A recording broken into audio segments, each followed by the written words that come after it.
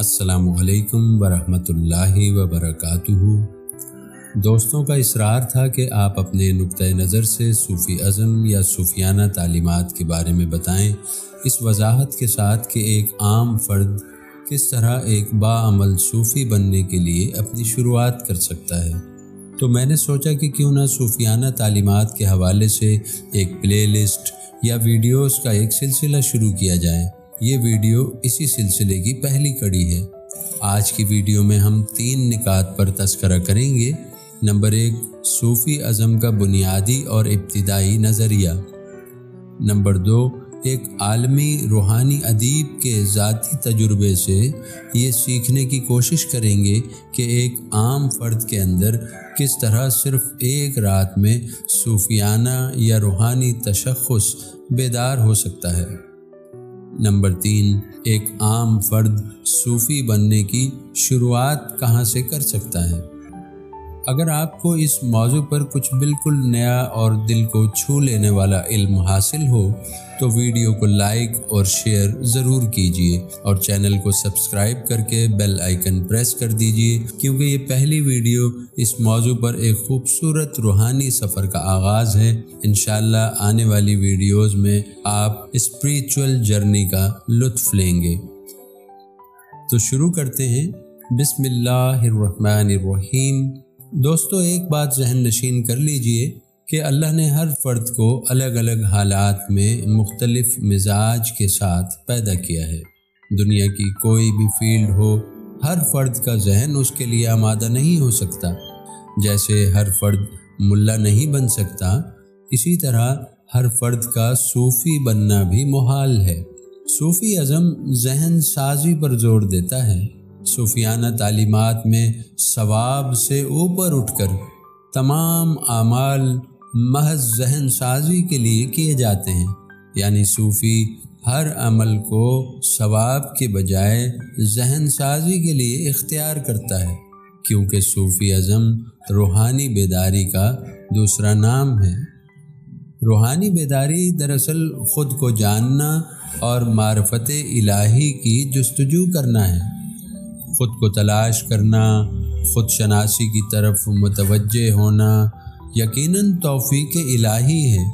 ये अल्लाह रब्ज़त की वो नेमत व हिदायत है, जिसे सूफियाना हलकों में खुश नसीबी से ताबीर किया जाता है। अल्लाह के रसूल सल्लल्लाहु अलैहि वसल्लम का इरशाद गिरामी है, मन अरफ नफ्सहू, फ़कद अरफ रब्बहू। जिसने अपने नफ्स को पहचाना, बस उसने अपने रब को पहचाना। मोहतरम दोस्तों ख़ुद शनासी का ये दिलचस्प और मुक़दस सफ़र इल्म इलाही व इरफान इलाही से मुज़यन होता है। उमूमी तौर पर हम अपने किरदारों, मसलन कोई इंजीनियर है, कोई डॉक्टर है, कारपेंटर है, मज़दूर है, वग़ैरह वग़ैरह, हम इन्हीं माशी किरदारों में मुनहमिक रहते हैं। अदना व आला, हैसियतों का नाप तोल करते रहते हैं और मर्द और औरत की तखसीस में उलझे रहते हैं, जबकि ये सब हमारे असल रूप के बहरूप हैं। ये बहरूप हमारे किरदार हैं। किरदार निभाते निभाते हम अपनी असल से गाफिल हो रहे हैं। अगर ये गफलत की चादर हमने ओढ़े रखी तो हमारी ये मुख्तसर दुनियावी ज़िंदगी इसी बहरूप में तमाम हो जाएगी। असल रूप की तरफ़ माइल होना, खुद शनासी की जस्तजू करना हमें आला शूर से मरबूत करता है। सूफियाना तालीमत में खुद आगही महज लफाजी या ज़बानी जमा खर्च का नाम नहीं है। बल्कि ये गौर व फ़िक्र के नतीजे में होने वाला इंतहाई हसास, ज़ाती नौीयत का तजुर्बा होता है, जो हमारे असल रूप की वसी लामहदूद फितरत की अक्कासी करता है। देखिए, हमारा असल रूप या हमारा सूफियाना या रूहानी तशखस मज़हब व मिलत से बुलंद कायनाती अप्रोच का हामिल होता है। खुद शनासी के लिए की जाने वाली मशक़ों में शब बेदारी हो गोशा नशीनी हो मुराकबा हो या योगा वगैरह। ये मशक़ें किसी सूफ़ी साधु या राहिब के साथ की जाएँ, सबका मकसद कमोबेश एक ही होता है। असर हाजिर के मुमताज़ रूहानी मुसनफ़ एक हार्ट टोल जो 1948 को जर्मन में पैदा हुए उन्होंने ज़िंदगी के इब्तदाई उनतीस साल इंतहाई कठिन हालात में गुजारे। 1977 ईस्वी में जब उनकी उम्र उनतीस बरस थी, एक रात शदीद डिप्रेशन की हालत में ख़ुदकुशी के रुझानात के साथ उनकी ज़ुबान से एक जुमला अदा हुआ कि अब मैं खुद को बर्दाश्त नहीं कर सकता। इसके साथ ही अचानक उनके जहन में एक सवाल उठा कि ये क्या? मैं खुद को बर्दाश्त नहीं कर सकता? क्या मैं खुद से अलग हूँ?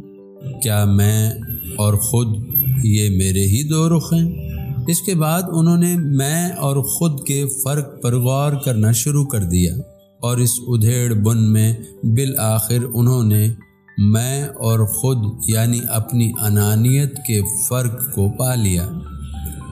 उन्होंने इस कैफियत में बातिन को खाली जौन पाया ना वहाँ माजी के ना खुशगवार वाक़ात थे, ना मुस्तकबिल के खौफनाक अंदेशे और तमाम मसाइल उस वक्त न जाने कहाँ गायब हो गए, और साथ ही उनका खुद भी गायब हो चुका था। वो सुबह उठे तो सब कुछ पुरसकून था। इस छोटे से वाक़े और ज़ाती तजुर्बे ने उनके अंदर हौसला, अफजा, तब्दीली पैदा की और उनकी ज़िंदगी को यकसर बदल कर रख दिया। वो लंदन के एक पार्क में बेंच पर जाकर बैठ जाते और गौर फ़िक्र में मशगूल रहते। कैम्ब्रिज यूनिवर्सिटी में वो अपने दोस्तों और सबक तालब इल्मों से उनके ख़यालात जानते और रूहानी और बातनी तरबियत के लिए उन्हें मशवरे देते। रफ्ता रफ्ता वो रूहानी उस्ताद और रूहानी मुशीर के तौर पर मशहूर हो गए। उन्नीस सौ सत्तानवे ईस्वी में बतौर रूहानी अदीब उनकी पहली किताब द पावर ऑफ़ नौ शाया हुई। किताब इस कदर मकबूल हुई कि उन्नीस सौ निन्यानवे ईस्वी में न्यू वर्ल्ड लाइब्रेरीज ने इससे बड़ी तादाद में दोबारा शाया किया। 2000 ईस्वी में ये किताब न्यूयॉर्क बेस्ट सेलर में पहुँच गई। 2008 ईस्वी तक इस किताब के 33 जुबानों में तर्जुमे हो चुके थे। गौर कीजिए दोस्तों माजी के गम और मुस्तबिल के खौफ में घिरे हुए, खुदकुशी के रुझानात में अटे हुए डिप्रेशन ज़दा शख्स, एक हार्ट टोल को खुद शनासी पर तफक्र के एक ज़ाती तजुर्बे ने रूहानी मुशीर बना दिया। इनकी इस किताब का मौजू ये है कि ज़्यादातर लोग माजी के नाखुशगवार वाक़ात नाकामियों के गम और मुस्तकबिल के खौफ साथ साथ लिए फिरते हैं। और मनफी ख्याल में हम वक्त घिरे रहते हैं। और इसी में ज़िंदगी तमाम हो जाती है। एक हार्ट टोल के नज़दीक मुस्तकबिल और माजी महज तस्वुर है। इसे बस सोचा ही जा सकता है। माजी और मुस्तकबिल की मनफी सोच पर काबू पाना इंतहाई ज़रूरी है, क्योंकि यही मसाइल की जड़ है। माजी व मुस्तबिल पर कंट्रोल हमारा वहम है। ये ज़िंदगी को खुला छोड़ने और फितरत के करीब रहने और मौजूदा लम्हात में जीने को आम दुनियावी ज़िंदगी में खुशहाली का मंत्र बताते हैं। इनके नज़दीक इस मंत्र से कोई भी शख्स अपनी आला रूहानी सतह को छू सकता है। मालूम हुआ कि दुनिया भर के कई मरूफ मुसनफ़िन ने अपनी तसानीफ में मुस्बत तर्ज फ़िक्र अपनाने, खुश रहने, खौफ व गम से नजात पाने और लम्हा मौजूद में ज़िंदा रहने के लिए ख़ुद शनासी की तरफ़ रगबत दिलाई है। सूफिया इकराम की तालीमत में ख़ुद शनासी की इब्तदा खामोशी के अमल से होती है। इसका इंतहाई आसान तरीका यह है कि आप रोज़ाना असर मगरब के दरमियान या फिर किसी भी मुनासिब वक्त में पंद्रह मिनट पुरसकून माहौल में मुकम्मल खामोशी इख्तियार कर लें। पहले पहल बज़ाहिर खामोशी होगी, लेकिन आपका बातिन ख्यालात व तस्वुरात की आमाजगा बना रहेगा। मुसलसल अमल और नफ्स से मुतक़ ज़्यादा से ज़्यादा मालूम के बाद बातिन में खामोशी होने लगेगी। जब हम अपने नफ्स के बारे में जानने की कोशिश करते हैं तो मुनकशिफ होता है कि हमारा नफ्स चार दर्जों पर मुश्तमिल है। नंबर एक, अर्ज़ या जिस्म। नंबर दो, सदर या जहन।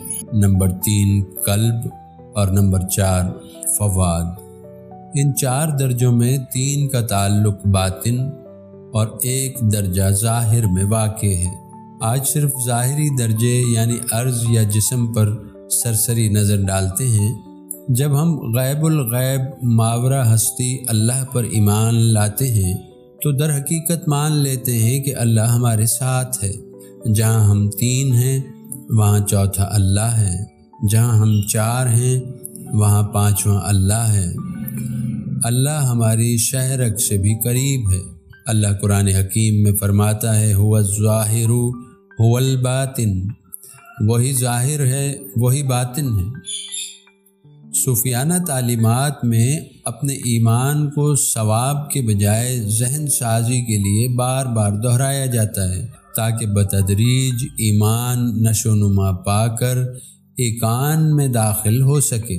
जब हम अपने इस ईमान की रोशनी में मखसूस आमाल और कलिमात के ज़रिए अपनी जहन साजी करते हैं तो ये ईमान, एहसास में दाखिल होने लगता है और हम महसूस करने लगते हैं कि अल्लाह हमारे साथ है। दोस्तों, जब अल्लाह का साथ नसीब हो जाता है तो ख़ुद शनासी की मंजिलें बसानी तय होने लगती हैं। सूफियाना तालीमत अर्ज़ या जिसम में अल्लाह के साथ होने के तस्वुर को न सिर्फ़ अहमियत देती है, बल्कि इसे गहरा करने के लिए मुख्तलिफ़ आमाल व अशगाल के ज़रिए जहन साजी भी करती है। दोस्तों, गौर करें कि हम ज़िंदगी सऊद और नज़ूल दो कैफियात में बसर करते हैं। हम कभी अच्छी हालत में होते हैं, आगे बढ़ रहे होते हैं, तरक्की कर रहे होते हैं, यानी सऊदी हालत में होते हैं। कभी नजूली हालत में भी होते हैं। इन्हीं कैफियात का आम मज़र जीना चढ़ना उतरना भी है कि कभी हम जीना चढ़ रहे हैं, कभी उतर रहे हैं। दोनों हालतों में अल्लाह के साथ होने का ख़ास ख्याल रखते हैं। बुलंद होते हुए अपने साथ मौजूद अल्लाह की अल्लाह अकबर कहकर बड़ाई बयान करते हैं। नीचे आने पर या पस्त होते हुए तनज़ली का क्रेडिट नफ्स को देते हैं। और अपने साथ मौजूद अल्लाह को सुबहान अल्लाह कहकर तनज़ुली से पाक रखते हैं। सूफ़ी ये अमल सवाब के बजाय इंतहाई तवज्जो और मुकम्मल तसव्वुर के साथ जहन साजी के लिए इख्तियार करता है। लिहाजा ये वो अमल है जिसे एक आम आदमी, एक आम फर्द इख्तियार करके अपने ईमान को जिला बख्श सकता है और खुदा के होने का जो तस्वुर उसके जहन में, उसे गहरा करके एहसास में दाखिल कर सकता है। इसके अलावा सूफियाना तालीमत, अमन, मोहब्बत, भाईचारे और ख़दमत खल कर दर्स देती है। मुसलसल दो साल जहन साजी करने पर जहन में ये बात रासिक हो जाती है कि अल्लाह मेरे साथ है। जजाकल्लाहु